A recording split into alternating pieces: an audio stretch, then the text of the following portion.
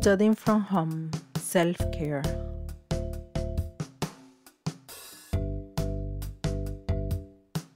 This is your reminder to take care of your mind and body regardless of where you're studying from. Get some fresh air at least once a day. Don't forget to wear your face mask. Stock up on healthy snacks. Fruits are the best option. Organize your time. Try to build and schedule in order to be on time with your assignments. Create a comfortable workspace. It can be a corner in your house with good illumination.